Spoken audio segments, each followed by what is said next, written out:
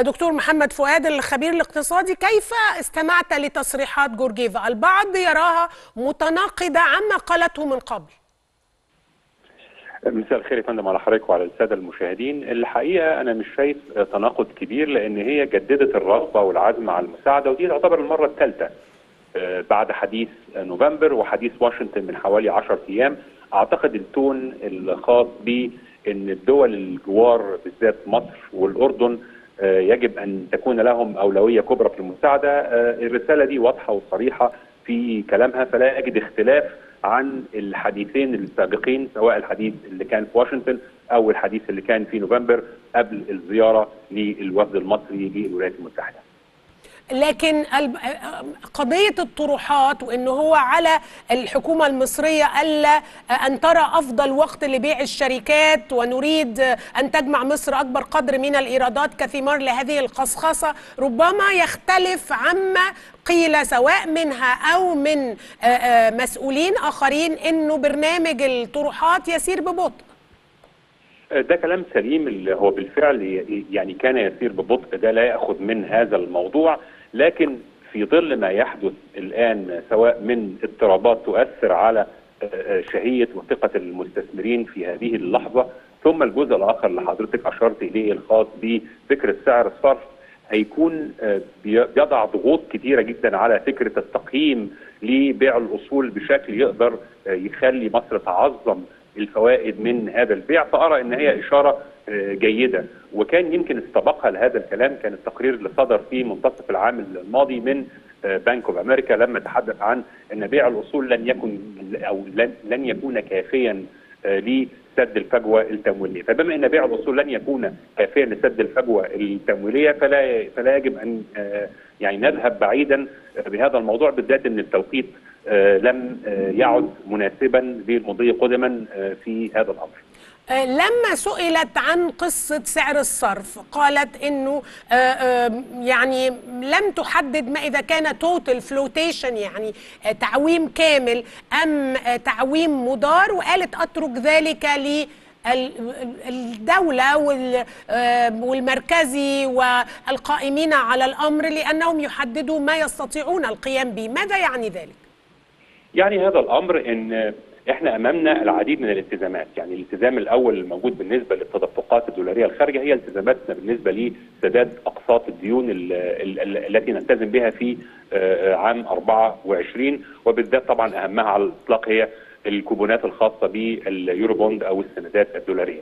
الجزء الآخر واللي هو برضه فيه أهمية شديدة هي المتأخرات لأن المتأخرات دي هي اللي عاملة بالفعل تشوه كبير جدا في جانب الطلب. يعني مثلا عندنا طبقا لآخر إحصائية ظهرت أو آخر بيانات تم تداولها إن إحنا عندنا 7 مليار من البضائع المتأخرة. دي طبعا عاملة ضغط كبير جدا على فكرة جانب الطلب. ثم عندنا مستحقات الشركاء الأجانب اللي هي أعتقد وصلت تقريبا حوالي 7 مليار. ثم أيضا عندنا المستثمرين والأرباح التي يجب أن يتم تحويلها.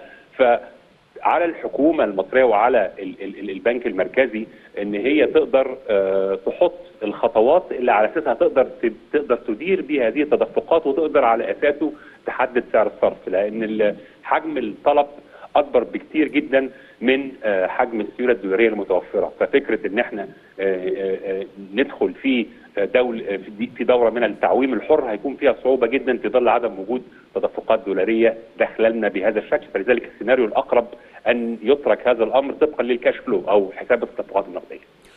عشان نسهل على الناس يعني ملخص ما قالته جورجيفا هو يعطي ثقة للاقتصاد المصري وللحكومة القائمة على إدارة الأمور لكن بيقول لنا إيه كمان يا دكتور محمد في هذا الإطار؟ بلغة بقى أبسط عشان الناس تفهم. هي هي هي الحقيقة ثلاث حاجات يعني أو هي ثلاث نقاط أساسية، الجزء الأولاني إن إحنا إحنا معاكم.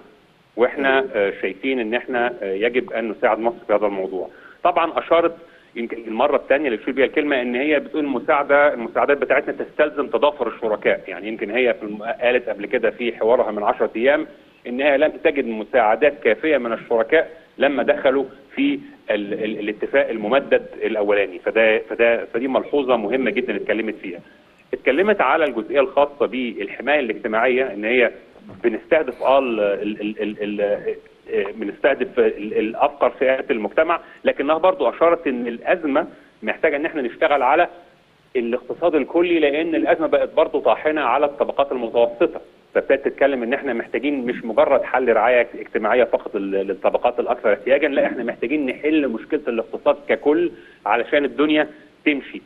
التوجهات اللي اتكلمت فيها يمكن لما اتكلمت على الجزئية الخاصة بفكرة الدعم دعم الطاقة لم تشر إلى مصر بشكل آه، خاص لكنها تحدثت في المجمل إن يجب على الدول أن تفكر في جدوى آه، دعم الطاقة فدي إشارة مهمة جدا لأن دي من ضمن الأحاديث اللي يجب آه، اللي هو بي- بي- بي- بي- بي- بيت- بيتحدثوا عليها بشكل كبير.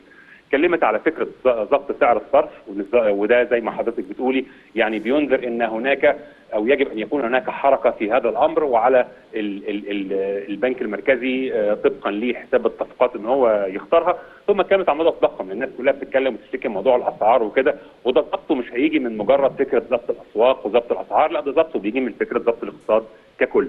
الإنفاق العام بشكل عام برضو اتكلمت إن إحنا يجب أن نستمر في آه، إن إحنا نقلل من الإنفاق العام لأن الإنفاق العام هو اللي بيغذي التضخم بشكل كبير. آه لأنها قالت بوضوح إنه آه، آه، يعني حيت جهود الحكومة لتقليل المشروعات أو تقليل ضغط المشروعات على الموازنة يعني هي حيت موضوع ترشيد الإنفاق ده كلام سليم لكن أعتقد إن هي إن هم ينتظروا المزيد. لأن طبقا للكلام اللي اتقال في بيان مجلس الوزراء بنتكلم على ترشيد 15% من الخطة الاستثمارية. الكلام ده يعني يعمل حوالي 75 مليار دولار. مش كفاية. أعتقد إن الطموح هيبقى أكتر من كده شوية.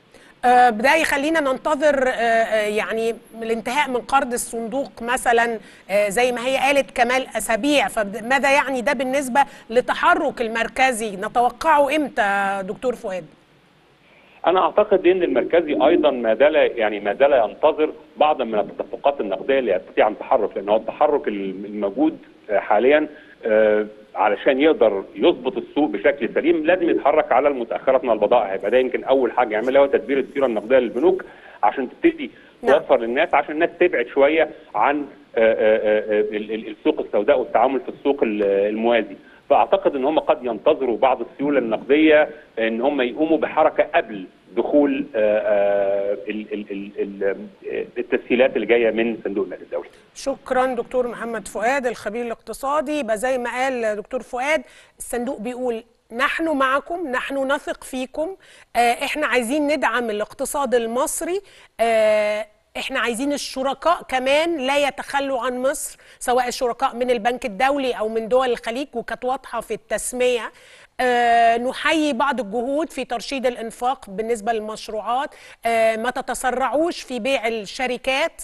آه، عايزينكم تاخدوا أكبر آه، يعني عائد من هذه الشركات. التخفيض العملة وتوحيد سعر الصرف لازم وقادم التضخم مهم جدا إن إحنا نواجهه. آه، دي كلها آه، أمور مهمة. هنرفع آه، آه، آه، قيمة قرض الصندوق ولكن مصر هي اللي تحدد هتتحمل دين قد إيه. كان- أيضا على فكرة آه، مش إعادة هيكلة الدين ولكن التفاوض بين مصر والدول ال- ال- الدائنة. هل يمكن إن الصندوق يتدخل؟ قالت لك لا إحنا ما بنتدخلش مصر عليها أن تحدد ذلك ونحن نقف على الحياد. هذه كانت تصريحات كريستالينا جورجيفا آه، مدير صندوق النقد الدولي.